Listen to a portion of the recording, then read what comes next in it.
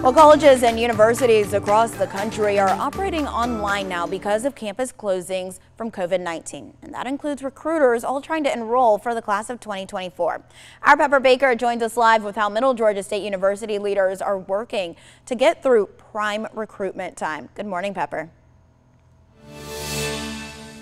Good morning, Aaron. That's right for college visits, but it's a much different experience for high school juniors and seniors through this, all the COVID-19 closures. And with everything moved online, I spoke with one high school senior from Warner Robins High School about how she's dealing with making all of these college decisions without actually stepping foot on campus. I got accepted in the very first and I was so excited. I was like, okay, let me set up my college visit for that. And then like four days later, the UGA decisions came out and I got accepted in the UGA. Jamie Thigpen was in the midst of making one of the biggest decisions of her life. Then COVID 19 happened. That's when everybody started talking about, oh, we're going to be out of school.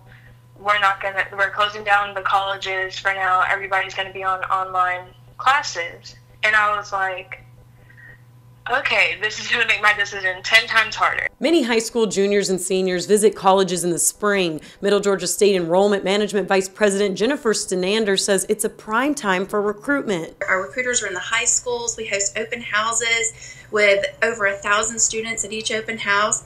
We had um, 25 orientations planned so, um, and five of those had already were already at capacity. Although the campus may be closed, she said Middle Georgia State has everything available online. Students will be receiving emails. They will go through orientation online. Um, they will register for their classes and um, meet with their advisors. So they can't come to us. So we're bringing campus to them. Stenander says prospective students who won't be able to take SAT tests until June can still apply to MGA. You do not need SAT scores to apply for admission. That's not going to prevent you from being accepted. Students can take a look at the campus through virtual tours and photos online. Thigpen wants seniors to remember these trying times won't last forever. The class of 2024 has a lot to offer and oh my gosh, I keep on crying. I'm so sorry.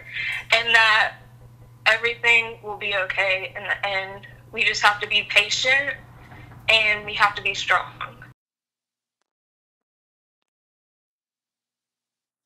Now, despite not being able to visit UGA, Thigpen has decided to attend this fall. And as far as Middle Georgia State, Stenander says their move-in dates for summer and fall have not changed at the moment. Live from home, Pepper Baker, 13 WMAZ News. Thank you, Pepper. That was a wonderful story. And you're just seeing how much it's affecting people on so many levels. Middle Georgia State University students can still go on the admissions webpage to contact their assigned recruiter for more information.